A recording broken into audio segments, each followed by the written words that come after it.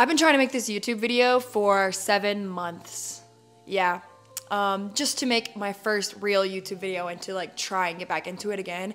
I've been journaling about it. I've been sitting here. I've been plotting. I've been scheming. I've been saying, wait, I need a real light. I need a real camera. I need a real tripod. I need a real microphone. I need the real editing software. Like just making up bullshit excuses. And then it would be like, oh, I can't record because I'm only free at night and there's no light at night. And so I can't do anything. And I'll, I'll do it when I have free time in the day. And then when I have free time in the day, it's like, oh my God, I don't have anything to talk about. There's not enough time to shoot uninterrupted. Like all of this stuff, all these bullshit bullshit excuses and I just kind of got sick and tired of being sick and tired. So I just said, I'm just gonna get something out there. So I'm calling this video the importance of getting started. And you can see me here. I'm wearing like a boring, stupid outfit. Another thing that was been blocking me was like, I need a really good outfit. Oh, my hair doesn't look good enough today.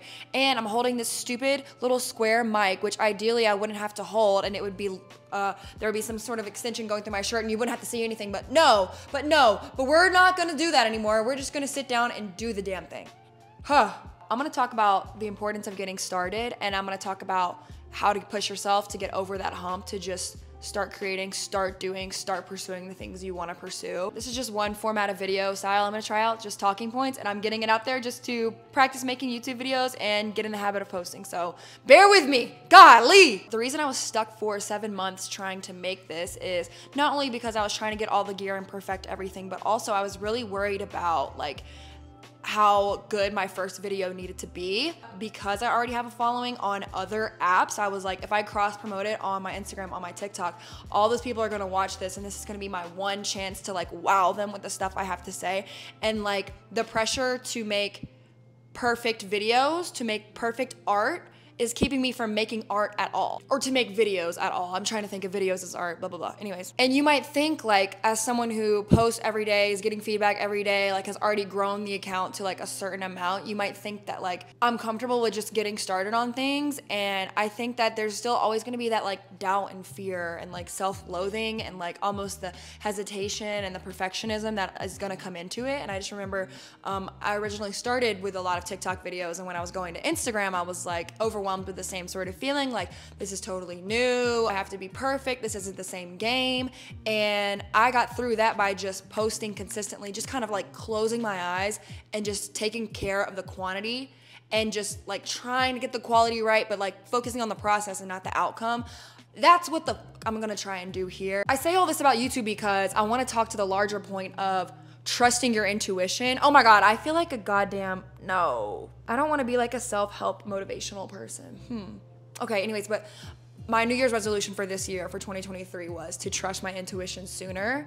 Um, that means taking the risk that I knew I was capable of and like, you know, not being shy, not letting imposter syndrome like stop you from pursuing things. Like, you know how you have you might have a business idea, you might have a post, an idea of something you want to post, some art that you want to make, some outfit you think you could wear, some position you think you could get a job at, like stuff like that. All of that stuff, um, you know how you, sometimes you can just feel in your head, like, I know I could be successful at this if I tried.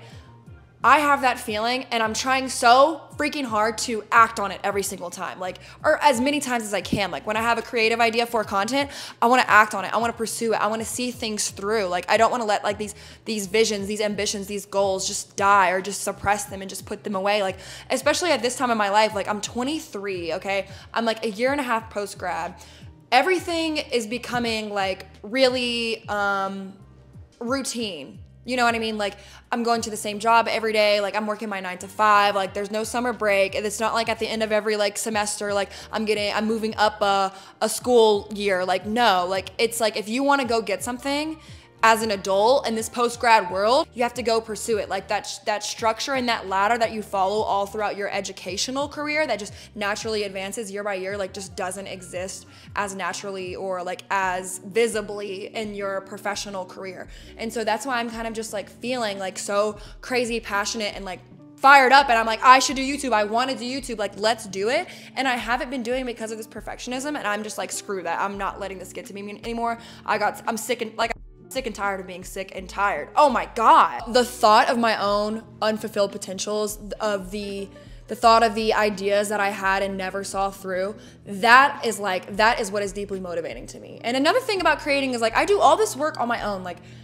I set up my own schedule. I keep the content consistent. I come up with the ideas, I film, I produce, I edit all those things like on my own. And so it really does have to come from like an internally motivated place. And I think like this fear of lost potential is what is keeping me going. So when I wanted to come to this YouTube video and all the other things that I'm like trying to conquer in my life, I'm thinking about like, what is just the first step?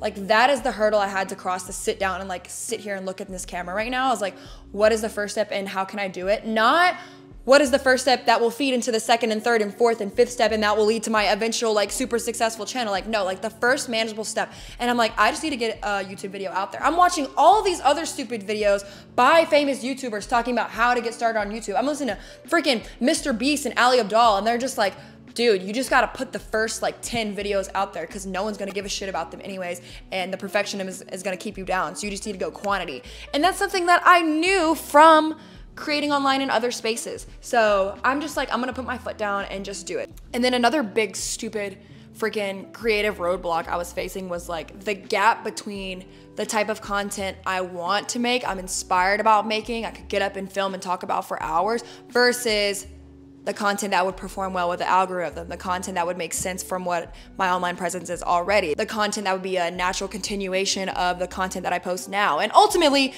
I post a lot of queer, uh, queer related and like queer fashion content, da da da. If you've seen me on Instagram, TikTok, blah blah. And I can't talk about that stuff forever. And that's kind of one reason I got into this, or one of the reasons I'm trying to get into YouTube is to have long form content to talk about anything I want.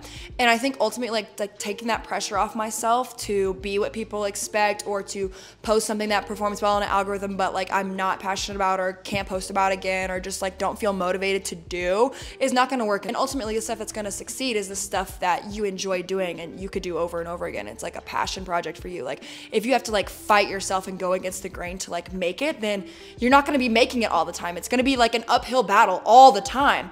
So that's why I just kind of like had to let go of the of the prerequisite of oh, this has to make sense. This has to fall in line. This has to perform well. Like, no, screw it. And it can actually, in fact, be.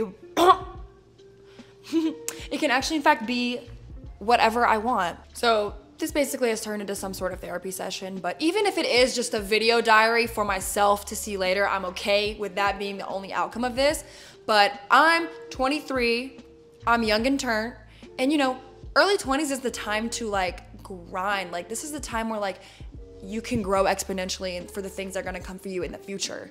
And I'm sitting here pissed off, very much aware and aggravated, and very much just like clawing and screaming and like so motivated and ambitious to just get out there and make shit. So, welcome to my fucking YouTube channel and prepare to see more of me.